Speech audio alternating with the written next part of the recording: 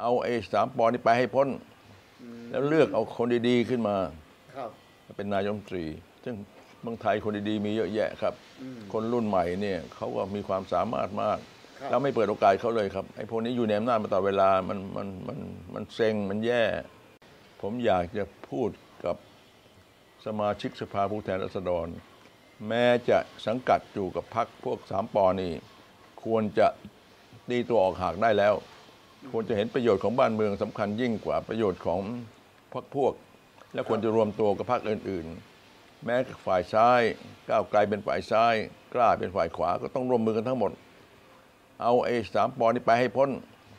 แล้วเลือกเอาคนดีๆขึ้นมาครับเป็นนายกรัฐมนตรี ซึ่งเมืองไทยคนดีๆมีเยอะแยะครับ คนรุ่นใหม่เนี่ยเขาก็มีความสามารถมากครับแล้วไม่เปิดโอกาสเขาเลยครับไอ้พวกนี้อยู่ในอำนาจมาตลอดเวลามันมันมันมันเซ็งมันแย่ ผมแนะนำว่าไม่ว่าพรรคไหนก็ตาม ควรจะฟังพวกที่เขาออกมาต่อต้านท้าทายนะครับ พวกนักศึกษาพวกเด็กเนี่ยเพราะเด็กพวกนี้มันเขาเป็นอนาคตของเรานะครับใช่ครับเขาอาจจะพูดผิดบ้างถูกบ้าง แต่อย่างน้อยเนี่ยเด็กพวกนี้เขากล้าเขารู้จะถูกจับเขาก็ไม่กลัวเขาเสี่ยงเสี่ยงชีวิต